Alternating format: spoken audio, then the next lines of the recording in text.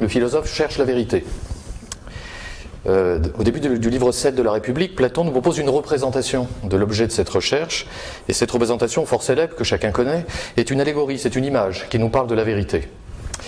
Les images servant de support de cette allégorie peuvent être décrites ainsi. On a des prisonniers qui sont au fond d'une caverne, ils sont enchaînés là depuis leur enfance, ils ont le cou et les jambes enchaînées, le corps hein, vraiment tenu, de sorte qu'ils ne peuvent voir ailleurs que devant eux. Ils n'aperçoivent que la paroi de la caverne. Dans leur dos, au-dessus, il y a l'entrée de la caverne. Euh, un peu au-delà de cette entrée, il y a une petite route qui passe avec un feu. Alors le feu donne sur l'extérieur de la caverne, un petit muret qui donne à l'entrée de la caverne. Entre le feu et les murets passent des hommes qui portent des objets. De temps en temps, ils parlent, nous dit Platon. Donc de temps en temps, au fond de la caverne, on entend quelques voix. Mais à chaque fois qu'ils passent, en tout cas, ils projettent des ombres au fond de la caverne. Donc nos prisonniers, depuis leur enfance, puisqu'ils sont là depuis toujours et qui n'ont jamais rien vu d'autre, n'aperçoivent que des ombres qui sont projetées devant eux, des ombres dansantes qu'ils aperçoivent quotidiennement.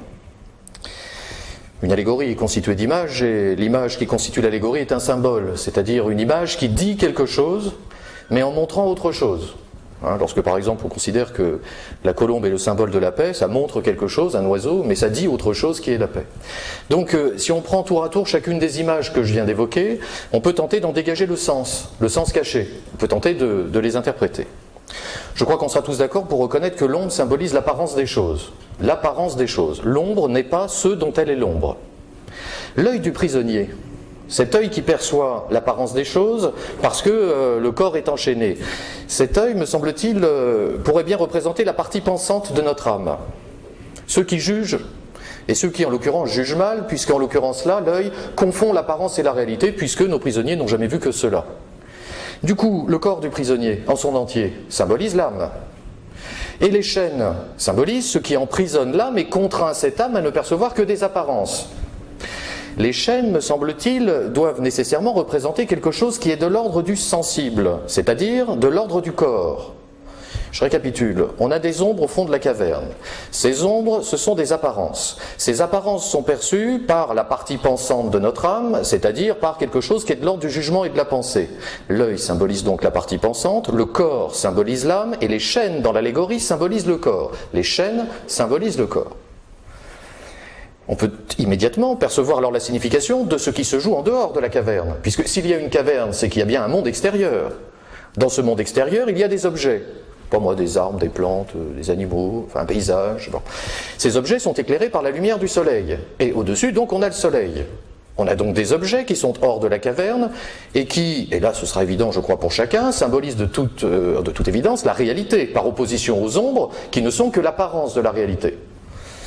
On notera d'ailleurs que les ombres au fond de la caverne ne sont pas des projections qui proviennent de la lumière du soleil et des objets qui sont à l'extérieur, hein, mais d'un feu allumé sur une hauteur et d'objets qui passent entre ce feu et un petit muret que Platon décrit comme ressemblant aux cloisons que les montreurs de marionnettes utilisent afin de faire voir leurs merveilles. Donc euh, si je vais au-delà de cette région intermédiaire, là, ces montreurs de marionnettes, et que je regarde vraiment à l'extérieur, j'ai des objets qui symbolisent la réalité, une lumière qui symbolise ce qui éclaire la réalité, Bon, qu'est-ce qui éclaire la réalité? Qu'est-ce qui nous permet de voir les choses telles qu'elles sont et non pas simplement telles qu'elles nous apparaissent, sinon la vérité? Donc la lumière du soleil symbolise la vérité et le soleil symbolise la source à la fois de la réalité, qui est extérieure, elle ne serait pas tout à fait la même s'il n'y avait pas le soleil, et de la lumière, puisque sans soleil, il ferait nuit. Donc notre soleil symbolise à la fois la source de la réalité, puisque nous avons dit que les objets extérieurs symbolisent le réel, et de la vérité, puisque nous avons dit que la lumière symbolise la vérité. Au passage, donc, Platon nous invite à distinguer très précisément l'objet éclairé et la lumière qui l'éclaire, c'est-à-dire la réalité et la vérité. La vérité n'est pas tout à fait la réalité, ou plutôt la vérité est ce qui éclaire la réalité, un objet en lui-même, un objet réel. Si on considère en lui-même, il n'est ni vrai ni faux, il est ou il n'est pas. Hein, être ou ne pas être, enfin, c'est la question. Mais l'objet en lui-même, il n'est pas vrai ou faux. Ce qui est vrai ou faux, c'est le jugement que nous portons sur cet objet. Donc ce qui est vrai ou faux, c'est quelque chose qui est de l'ordre de la pensée. La vérité n'est pas la réalité, la vérité c'est l'accord de la pensée avec la réalité. Donc si la vérité c'est l'accord de ce que nous pensons, de nos représentations avec le réel, si la vérité est de ce côté-là, ça veut dire que la vérité est du côté de la pensée. du côté de nos représentations. Nous obtenons donc une description qui distingue deux plans. Il y a le fond de la caverne et il y a le monde extérieur. Au fond de la caverne, on a un monde d'apparence auquel on accède, on l'a dit, à cause de nos chaînes, donc finalement par la médiation de notre corps. Au fond de la caverne, il y a un monde d'apparence sensible.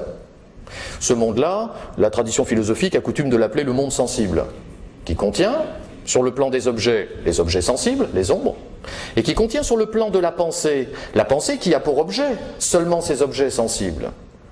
C'est ce que Platon appelle l'opinion. Enfin, l'opinion, c'est une croyance, c'est-à-dire une pensée qui n'est pas démontrée, mais une croyance qui n'est pas une croyance comme la croyance religieuse qui nous porte vers un au-delà, vers un invisible. Le religieux croit en ce qu'il ne voit pas.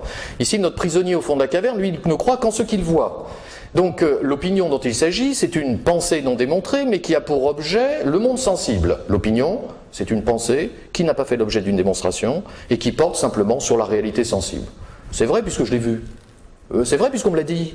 Ben, ça doit être vrai quand même, puisque la tradition le répète depuis tellement longtemps, il n'y a pas de raison que. Hein. Ou c'est vrai, je sais pas, je, l'ai vu à la télé, enfin la boîte à ombre, euh, quelque chose qui.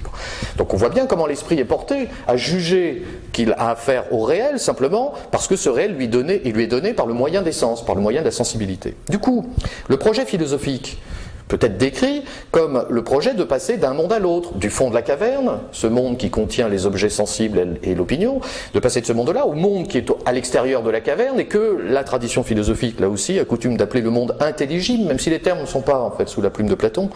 Mais on peut l'appeler le monde intelligible dans la mesure où les objets réels qui sont à l'extérieur supposent, pour qu'on y accède, qu'on se libère des chaînes. Et on a dit que les chaînes, c'était le corps. Donc s'il faut se libérer du corps pour accéder au réel, ça veut dire que le réel n'est pas sensible. Si vous se libérez du corps pour accéder au réel, ça veut dire qu'on a affaire à une réalité qui n'est pas tangible, enfin qui n'est pas sensible, qui n'est pas donnée par, le, biais de qualité sensible, qualité seconde. Hein. Donc à l'extérieur, on a un monde qui contient le réel qui n'est pas sensible et qui contient la pensée de ce réel qui n'est pas sensible, la pensée vraie, la lumière, hein. c'est-à-dire la science. Et donc le projet philosophique consiste à passer d'un monde à l'autre, de l'opinion à la science de l'opinion qui porte sur les objets sensibles à la science qui porte sur des objets qui ne sont pas sensibles, des objets qui sont intelligibles. on comprend par là même pourquoi euh, sur le fronton de l'Académie de Platon était inscrit que nul n'entre ici s'il n'est géomètre, puisque le géomètre a pour objet non pas telle ou telle figure géométrique dessinée on peut regarder comme ça, mais l'essence de la figure géométrique que l'on dessine. Si je dessine un triangle rectangle et que j'énonce les propriétés de ce triangle, en réalité, le discours que je tiens sur le triangle n'a pas pour objet tant l'objet que j'ai dessiné que l'essence du triangle, le triangle en général, c'est-à-dire un triangle que je ne vois pas, que je n'entends pas, que je ne touche pas, qui n'a pas telle ou telle propriété sensible, une essence, un objet intelligible. Mais on a un problème.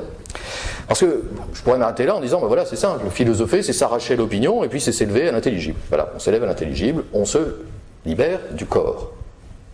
Oui, oui, mais comment on fait pour se libérer du corps? Parce que c'est ça que nous dit Platon. Celui qui s'élève à la science est capable de percevoir le réel sans passer par la médiation du corps. Mais ça veut dire quoi, penser le réel sans le corps? Ça veut dire quoi? Penser la réalité indépendamment de nos organes sensibles. Enfin, comment je peux voir sans voir? Comment je peux voir sans mes yeux? Comment je peux voir sans le toucher, le goût, oui Enfin, comment est-ce que je peux voir sans ce qui fait que je suis là? Comment je peux percevoir une réalité indépendamment de ma réalité corporelle ou charnelle? En réalité, la réponse à cette question se trouve dans ce que j'ai dit. Lorsque euh, j'ai défini l'opinion, j'ai dit l'opinion, c'est une pensée qui porte sur le sensible, et j'ai précisé, cette pensée, c'est une croyance, c'est-à-dire une pensée qui n'est pas démontrée. Donc en réalité, la distinction profonde, enfin essentielle, entre l'opinion et la science réside là. La différence entre une opinion et une science, c'est pas la vérité. Parce qu'une opinion peut être vraie. Une opinion, ça peut être vrai. Je peux dire n'importe quoi et par hasard dire quelque chose qui coïncide avec le réel.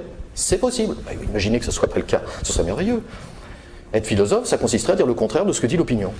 On ferait la liste de toutes les opinions, on dirait le contraire et on serait philosophe. Oui, mais justement, ça ne marche pas comme ça, puisqu'il arrive que l'opinion soit vraie. Hein, cette opinion, Platon en parle, il l'appelle l'opinion droite. L'opinion droite qui n'est pas science et qui n'est pas ignorance. Enfin, c'est compliqué, elle n'est pas ignorance puisqu'elle dit le réel, par accident, mais elle n'est pas science parce qu'elle n'est pas démontrée. Le passage du fond de la caverne au monde extérieur réside là. C'est l'art de la démonstration qui nous libère du corps. Platon ne préconise pas l'endoura, le suicide mystique des cathares. Hein. Il ne s'agit pas de mettre fin à ces jours pour s'élever plus rapidement vers le monde des idées. Il s'agit ici et maintenant de faire en sorte que sa pensée ne soit plus soumise à la sensibilité. Autrement dit, il faut mettre en avant un usage réglé de la pensée. Faire en sorte que les conclusions que l'on tire soient tirées nécessairement sur la base d'une procédure logique. Ou encore, faire en sorte que sa pensée ne soit plus soumise au sensible, mais bien à quelque chose qui relève de la raison. Sortir de la caverne, c'est démontrer et du coup, les personnages là qui passaient, dont je parlais tout à l'heure, qui marchaient sur la route et qui, euh, entre le feu et le muret, euh, projetaient les ombres au fond de la caverne, ces personnages-là, on arrive à les penser. Hein. Parce que le philosophe, il n'est pas dans l'allégorie. Il n'y est pas dans ce que j'ai décrit. Il n'est pas, il n'est pas mis par Platon. Si on devait le mettre, d'ailleurs, on, serait un peu embêté parce qu'il n'est pas à l'extérieur, le philosophe. Hein. Le philosophe, j'ai dit, j'ai commencé là-dessus, hein, par, ça. Le philosophe cherche la vérité. Donc s'il la cherche, c'est qu'il ne l'a pas. il la cherche. Donc celui qui est en haut, ce serait le sage plutôt, celui qui détient une vérité achevée. Et le philosophe n'est pas non plus dans la position de ces hommes qui passent et qui projettent des ombres. Parce que la métaphore de la cloison ressemblant au petit muret, hein, qui euh, fait penser aux montreurs de marionnettes, à la cloison des montreurs de marionnettes, laisse penser que nos hommes là qui passent en haut projettent des ombres, mais que, comme tout montreur de marionnettes, on peut penser qu'ils ont le regard tourné vers leur public, c'est-à-dire vers le bas. Eux, ils sont en haut, mais ils regardent vers le bas. Le philosophe, on a vu qu'il n'était pas en haut, mais enfin, s'il était là, il ne regarderait pas vers le bas, puisque ce qu'il cherche, c'est la réalité. Du coup, le philosophe est au fond. Évidemment qu'il est au fond. Enfin, il est au fond, mais il ne regarde pas la caverne, puisque celui qui la caverne est prisonnier de l'illusion.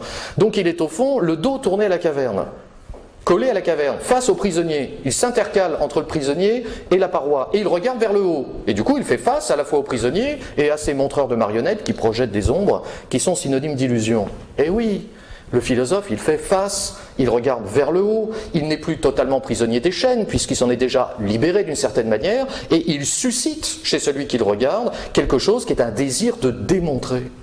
Il faut aller voir au-delà de l'apparence.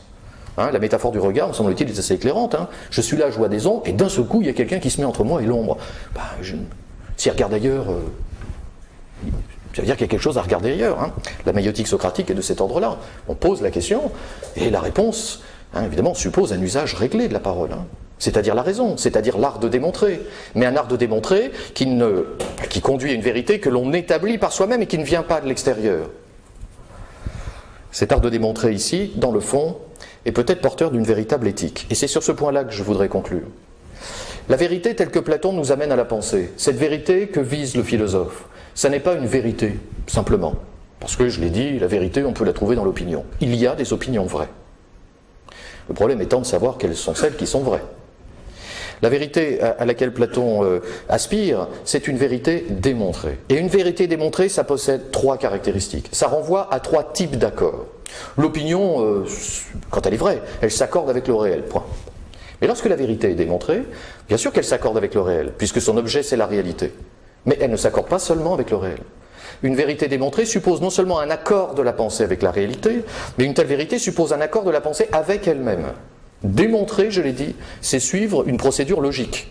Au minimum, c'est être cohérent. Et la cohérence, ça n'est rien d'autre que l'accord de ce que je dis avec ce que je dis. La cohérence, c'est l'accord du moi avec lui-même. Donc la vérité démontrée à laquelle aspire le philosophe lui permet non seulement, s'il y accède, d'accéder à un accord avec le réel, mais d'accéder en même temps à un accord avec lui-même. Or, si ce que je dis s'accorde avec ce qui est, et si ce que je dis s'accorde avec ce que je dis, autrement dit, si je m'accorde avec le réel, et si en même temps je m'accorde avec moi-même, ce que je dis, ça vaut en droit pour l'autre. Une pensée démontrée est une pensée qui prétend à l'universalité. Si ce que je dis porte sur le réel. Si je dis ce qui, est, tel que cela est, ce que je dis, évidemment, ça vaut pour l'autre. Et encore faut-il que ce que je dis s'accorde avec ma propre pensée. Une pensée cohérente, une pensée cohérente qui s'accorde avec le réel, évidemment, produit un accord de droit entre les esprits. Pas toujours un accord de fait. Peut arriver qu'une opinion produise un accord de fait. Ces hommes dont je parlais tout à l'heure qui projettent des ombres au fond de la caverne et qui regardent vers le bas, on les aura reconnus, ce sont les sophistes. Hein, qui prennent appui sur le sensible, qui produisent des accords de fait, mais qui font appel au désir, et qui ne font pas appel à la raison. Ils cherchent à persuader, non pas à convaincre. Alors que la vérité démontrée, elle, elle produit un accord de la pensée avec le réel, un accord de la pensée avec elle-même, et un accord de droit des esprits entre eux. Bah dites donc la vérité démontrée, là, on voit bien qu'elle possède une dimension pratique. Elle possède une dimension morale. En réalité, la pensée platonicienne, et notamment l'allégorie de la caverne, ne conduit pas à une espèce de condamnation irréfléchie du sensible. D'ailleurs, l'allégorie est une forme sensible. L'allégorie, c'est une image, mais une image qui nous dit faites attention aux images. Mais Platon ne condamne pas le sensible pour lui-même. Ce qu'il condamne, c'est une prétention à faire en sorte que la pensée s'épuise totalement dans la réalité sensible. En réalité, Platon ne condamne pas tant le sensible qu'il nous invite à nous tourner vers un autre rapport au monde, un rapport fondé sur la raison, évidemment, sur quelque chose que j'ai appelé démonstration. Mais euh, ça signifie que démontrer, ça n'est pas simplement une exigence d'ordre logico-mathématique ou d'ordre logique, ça n'est pas simplement une exigence de cohérence formelle, puisque, je viens de le dire, démontrer, ça produit non seulement la possibilité de s'accorder avec soi-même, mais aussi de s'accorder avec autrui. En d'autres termes, je conclurai mon intervention là, simplement par cet élément de réflexion. La démonstration, telle que le pense le philosophe, ça n'est pas simplement quelque chose de théorique. Il y a une dimension morale de la démonstration. Ou encore, dès la philosophie de Platon, on voit bien que philosopher, c'est toujours une exigence éthique d'une certaine manière. Et bien justement, et précisément, il existe une éthique de la démonstration. Voilà, je vous remercie de votre attention.